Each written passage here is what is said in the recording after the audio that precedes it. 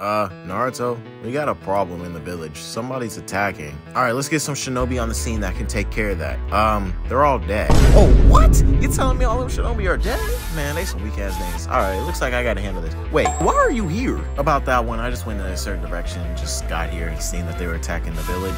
And you know this dude, King Kage, can't have a video without me in it, so. Well, okay, that's understandable. Time to go end this off with the good old-fashioned Rasengan. Um, I'm afraid that won't work.